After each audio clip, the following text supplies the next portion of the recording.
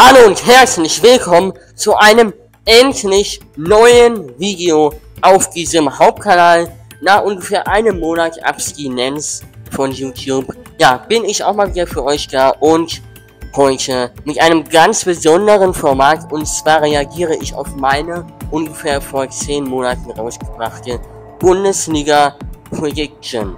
Und dabei habe ich mir überlegt, dass ich immer drei Plätze auf einmal vorstellen werde, auf die ich dann reagiere. Und genau, wir fangen an. Es gibt natürlich 18 Teams mit ganz unten mit den Plätzen 18, 17 und 16. Und da habe ich ganz unten auf Platz 18 die VfL Bochum getippt. Ja, und ich muss sagen, das ist gar nicht so verkehrt, weil die waren ja am Ende auf Platz 16. Also, ja, kann ich mich schon mal auf die eigene Schule klopfen. Das war nicht so schlecht. Aber jetzt kommen wir schon zu Platz 17. Der VfB Stuttgart. Da hat niemand, wirklich niemand mitgerechnet, dass die am Ende als Zweiter die Saison beenden. Als Vizemeister. Das ist unglaublich. Das muss man sich erstmal in, ja, im Kopf zergehen lassen, dass sowas möglich ist vom Abstiegsaspiranten zum zum Vizemeister. Also das ist, das ist unglaublich. Das ist unglaublich. Da, wirklich, da, e, egal was andere sagen, da, damit kann niemand gerechnet haben. Also wirklich, das ist unglaublich. Und Platz 16 haben wir den FCA. Und bei denen ist es auch nicht so krass, aber die haben auch, die haben ihre Erwartungen übertroffen, weil die äh, landeten am Ende, ja, im Mittelfeld, im gesicherten Mittelfeld auf einem 11. Platz ungefähr, irgendwie sowas was. Und ähm, genau, Platz 16 habe ich auch natürlich viel zu schlecht gerankt, aber ganz im Ernst, damit konnte auch wirklich niemand so wirklich rechnen. Und ja, von daher komme ich zu den Plätzen 15, 14 und 13. Und auf Platz 15 befindet sich ein Club aus Hessen. Und zwar, ja, mit Darmstadt 98 und man muss ganz klar sagen, ja, die gehören einfach nicht in die Bundesliga. Die waren eindeutig nicht gut genug. Und damit ja, haben sie auch im Real das Ganze mit dem Platz 18 abgeschlossen. Also, ja, sind direkt wieder runtergerutscht. Ich habe sie ein bisschen zu hoch gerankt, aber ich dachte mir, ja, vielleicht schaffen die es. Haben sie halt nicht. Platz 14, ja, habe ich mich wieder ein bisschen, ja, verschätzt, konnte aber auch keiner wissen, Heidenheim, ganz klar, einer, ich würde sagen sogar nach Stuttgart, einer äh, von jenen, eine von jenen Mannschaften, die ja sehr überrascht hat. Die haben es ja am Ende mit Platz 8 auch noch ja, in die UEFA Conference League geschafft. Also da wirklich kann ich nur applaudieren. War unglaublich diese Leistung von Frank Schmidt und seinen Teamkollegen. Ja, und genau. Platz 14 geht ja auf jeden Fall ja, natürlich nicht in Ordnung. Ich zu Platz 13. Und ja, habe ich mich auch ein bisschen verschätzt. Und zwar, ja, steht da laut mir die TSG 1899 Hoffenheim. Aber die haben auch bewiesen, dass sie Besseres drauf haben, als nur auf Platz 13 zu landen. Und zwar, die haben es nach Europa geschafft. Genauer gesagt, in die ja, Europa League mit äh, einem anderen Gegner zusammen. Das kommen wir auch noch später. Und ja, genau. Ich kann jetzt auch nicht mehr so viel sagen. Ja, kann man, kann man auf jeden Fall mal sich verschätzen. So ein krasser, so ein krasser Fehler weiß ich auch nicht, aber hat mich auf jeden Fall da auch ein bisschen verschätzt. Und kleiner Fun Fact an dieser Seite von Platz 16 zu Platz 12 und 11 so sind es nur sage und schreibe sechs Punkte. Sechs Punkte, ja, bis zum Mittelfeldplatz. Und das, äh, also daran sieht man auch, wie eng es dabei zuging. Und ähm, dementsprechend konnten gefühlt noch bis zu den nächsten Spieltag, bis zu den nächsten zwei, drei Spieltagen konnten noch so viele Clubs auch in die Relegation und sonst wohin fallen. Kommen wir nun zu den Plätzen 12, 11 und 10. Und ja, habe ich auf Platz Nummer 12 ja, den ersten FC Köln aus meiner Sicht äh, hingepackt. Aber man kann ganz klar sagen, die habe ich viel zu stark eingeschätzt. Die haben nicht wirklich gut performt. Sie dann am Ende auch ja, verdient abgestiegen als 17.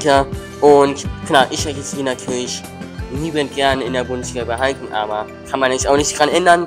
Komme ich aber zu Platz 11 und da habe ich Wolfsburg hingetan und auf Platz 10, auf Platz 10 habe ich auch ja, den SV Werder Bremen hingetan. Das muss ich sagen, ist nicht schlecht, weil beide Mannschaften sind am Ende auch im Mittelfeld gelandet und damit kann ich auch zufrieden sein. Kommen wir nun zu Platz 9, 8 und 7. Auf Platz 9 steht laut meiner Vorhersage der erste FSV Mainz 05. Bei denen hat wahrscheinlich jeder geglaubt. Die machen unser Bus Svensson. Die machen da richtig gute Arbeit und haben sie auch am Ende der äh, Rückrunde haben sie natürlich es auch gemacht. Äh, unter dem anderen Trainer, Bo Henriksen. Aber ja, unter Bo Svensson lief es einfach nicht gut. Und dann, äh, ja, musste sie sich am Ende mit einem 13. Platz, was glaube ich, zufrieden geben. Und genau, Platz 9 äh, gehe ich ganz definitiv nicht äh, an Mainz. Und das gleiche trifft eigentlich auch auf den achten Platz. Und das ist die Borussia aus Mönchengladbach. Und ja, ja, habe ich mir auch gedacht, die könnten, das habe ich sogar auch gesagt, die könnten ähm, nach einer der vorverkorksten Saison können die mal wieder ein bisschen höher stehen. Tun sie aber nicht. Platz 14 war am Ende das Endresultat und damit habe ich mich auch ein bisschen verschätzt. Was allerdings den siebten Platz angeht, da, ja, kann man sagen, das ist okay. Freiburg steht ja nämlich auf dem siebten Platz, laut meiner Vorhersage. Im Real Life heißt es Platz 10, aber man muss sagen, wenn man zwei Spiele zurückgeht, dann stand ich sogar noch auf dem siebten Platz. Also, da war es extrem, extrem eng und ja, deswegen geht das so in Ordnung. Auf dem sechsten Platz, und das ist wirklich der einzige Platz, den ich ganz genau, punktgenau richtig hatte, und zwar Eintracht Frankfurt. Die stand am Ende auch auf dem sechsten Platz, wie ich verdient, und damit ist es auch der zweite Europa League-Teilnehmer neben der TSG 1899 aus Hoffenheim, aus Sinsheim genauer gesagt. Und genau, damit bin ich auf jeden Fall sehr zufrieden. Und jetzt finde ich nur noch fünf. Fünf Plätze und das sind alles Champions Plätze. Ja, gut. Kommen wir erstmal zu Platz 5, 4 und 3. Da habe ich mir gedacht, ja, Union Berlin als Fünfter. Warum nicht, warum nicht, könnte man noch einfach mal dahin packen. Ja, das haben die mir auf jeden Fall nicht gezeigt im Real Life, denn die ja, haben eine extrem schlechte Saison gespielt, haben auch dann Urs Fischer, ja, den haben sie dann gefeuert. Oder ich glaube, gefeuert haben sie nicht, der wollte einfach von sich ausgehen. Und genau, am Ende haben sie sich dann als 15. als 15. also ich habe die 10 Plätze ja, über dem eigentlich, über der eigentlichen Leistung, habe ich die gerankt äh, ja, haben sich dann als 15er noch die Klasse gehalten. Auf jeden Fall, damit konnte man auch nicht rechnen, nach der UEFA Conference League Teilnahme, nach der Europa League Teilnahme, nach der Champions League. Die haben alles gehabt im, im internationalen Bereich in kürzester Zeit und dann ging es drastisch nach unten. Ja, auf dem vierten Platz habe ich ähm, ja, gesehen Bayern 04 Leverkusen. Also Da kann man nur schmunzeln, denn Leverkusen hat die Saison seines Lebens gespielt und sich am Ende auch verdient Doppelsieger geworden, fast ja auch Trippelsieger, mit 51 Spielen. 51 Spielen ohne Niederlage. Also das ist wirklich ein Weltklasse-Niveau. Und ja, das habe ich anscheinend nicht so, nicht so empfunden. Konnte natürlich auch niemand dass unter Xabi Alonso so krass performen und auch in der Nachspielzeit noch tausendmal treffen würden. Ja, Vierter Platz auf jeden Fall natürlich viel zu wenig, haben am Ende auch die 90 Punkte Marke erreicht, die legendäre. Und ja, genau, vierter Platz geht wie gesagt nicht in Ordnung. Auf Platz 3 habe ich den BVB gesehen. Ja, das sieht man eigentlich auch als neutraler Fußballfan, wenn man die BVB betrachtet. Ähm, das, das kann man auf jeden Fall so sehen. Aber, ähm, genau. Dortmund hat in der Liga absolut keine Bäume ausgerissen. Die wurden am Ende Fünfter. Trotzdem haben sie die Champions League erreicht. Genug nicht, würde ich mal sagen. Und damit, ja, dritter haarscharf vorbei. Aber kann ich euch auch nicht so viel zu sagen. Auf jeden Fall sind sie ins Champions League Finale gekommen. Das war ja gegen Real Madrid. Ähm, genau, am 1.6. war das ja. Und das haben sie dann leider, leider mit 0 zu 2 verloren. Dazu gibt es auch nochmal ein intensiveres Video. Aber kommen wir nochmal zurück. 5 Gap Knacks im Real Life. Ich habe sie auf dem Trinkknacks gesehen. Ist in Ordnung. Kann man da jetzt auch nicht so viel zu sagen. Auf Knacks 2. Und damit als Vizemeister habe ich getippt, ja, RB Leipzig, die roten Bullen. Ja, und das kann man auf jeden Fall mal so machen, weil, ja, ich finde, die haben jedes Jahr die Chance, auch um die Meisterschaft mitzuspielen. Haben sie dieses Jahr dementsprechend auch nicht getan, da sie ja nur aufgepflegt Platz genannt sind. Und genau, ja, zwei Plätze Unterschied ist nicht schlimm, ist nichts Dramatisches. Und ja, anstelle von RB Leipzig wurde ja auch der VfB Stuttgart im, im Übrigen, habe ich aber auch schon am Anfang des Videos erwähnt, deutscher, ja, Vizemeister. Als Vizemeister habe ich gesehen, RB Leipzig. Ja, das ist auch völlig zu Recht, weil die spielen auch eigentlich immer gut um die Meisterschaft mit. Diese Saison